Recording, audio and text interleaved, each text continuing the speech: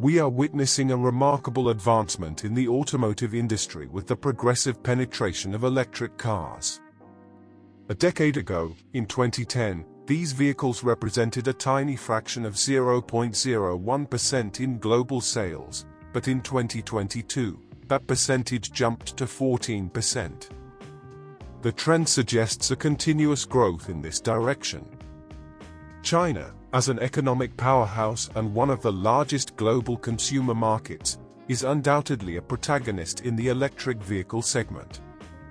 According to the International Energy Agency, in 2022, the Asian nation accounted for 60% of sales in this sector. Surprisingly, more than half of all electric cars in the world theoretically travel on Chinese roads. However, recently shared photos and videos on the web show a vast number of abandoned electric cars in locations that have been dubbed car graveyards. These cars appear to be in good condition, many with low mileage. Faced with these images, many wonder, why is China heavily investing in electric car production and yet many are being left to rot in vacant lots? The advancement of electric vehicles has had a significant impact on China, which has been able to capitalize on this movement. Previously, Chinese automakers, although producing inexpensive cars, were viewed with some reservation as they did not have the same technologies as their Japanese, American, and German counterparts. However, with the emergence of electric vehicles, all companies were starting from scratch, providing an ideal opportunity for Chinese brands to emerge and compete on equal footing.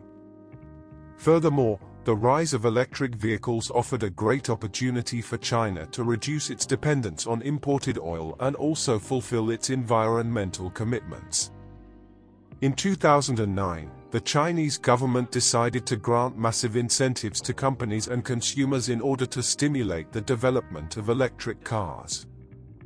Since then, the government has already invested around $60 billion in subsidies for buyers and investments in companies. With these resources and one of the largest consumer markets on the planet, China's electric car industry has become a giant. Of the top 25 companies in this sector, 15 are Chinese, including well-known names like BYD, a global leader in electric and hybrid vehicle sales, and NIO, often compared to Tesla. Traditional car manufacturers such as Chery and Lifan have also entered this promising market.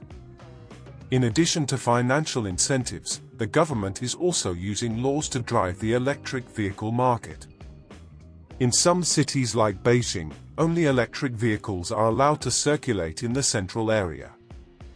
In others, such as Shanghai, the license plate for a traditional vehicle costs $12,000, while for an electric car, it is free. The country has also announced plans to phase out the sale of fossil fuel-powered cars by 2035. With these stimuli, sales have skyrocketed, and China has achieved impressive numbers.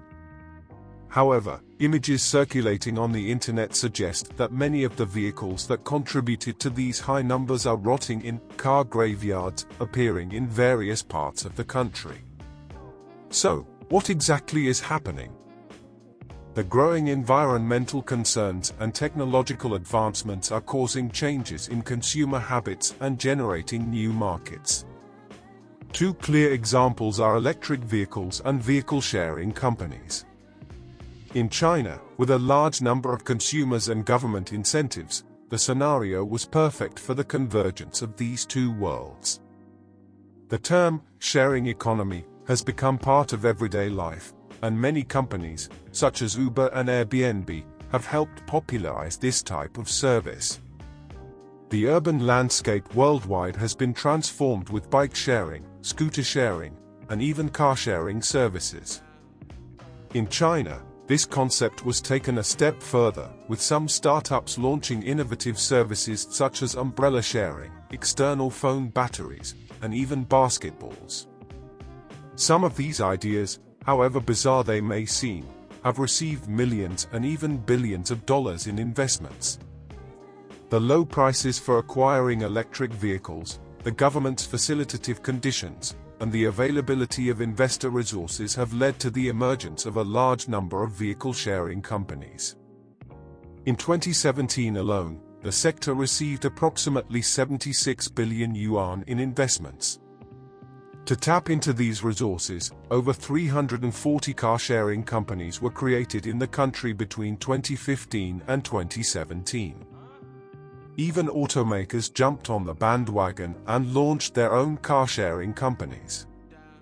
Luxury brands such as BMW, Mercedes-Benz, and Audi started offering shared cars, as did the Chinese company Lifan, which partnered with the internet company Baidu to launch Pandauto. However, this boom in car sharing also had its collapse. Fierce competition led companies into a predatory race for consumers, resulting in reduced fares and sacrificed profit margins. Moreover, initially, the novelty made many consumers want to try the service, creating a false sense of demand. Over time, the demand decreased significantly. Many car-sharing customers began to face difficulties in finding parking spaces at the end of their trips and complained about the conditions in which they found the vehicles.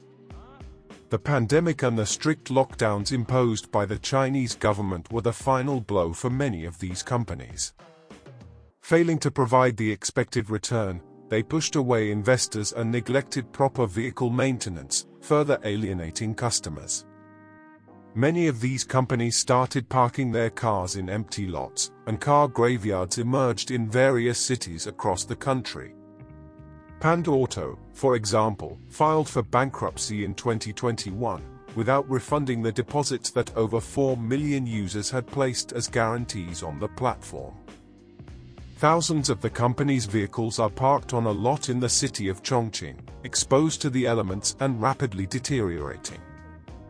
In other companies that are still operating, at least officially, the situation is practically the same.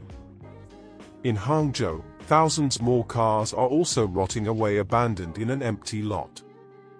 This time, the owner is the company Microcity, which claims that the vehicles are in use. However, reports have attempted to rent a vehicle near the storage site and none were available. This situation, although curious, is not exactly new in China.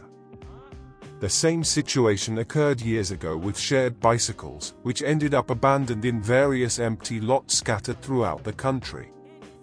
It is likely that these thousands of abandoned vehicles will never return to circulation, doing exactly the opposite of what was expected from electric vehicles, polluting the environment. Due to the lack of official information, it is difficult to know if the batteries have been removed or if they remain in the vehicles.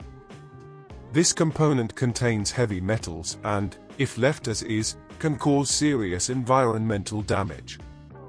If you enjoyed this text, I'm sure you will also enjoy this other one about the railway built by China in the middle of one of the world's largest deserts.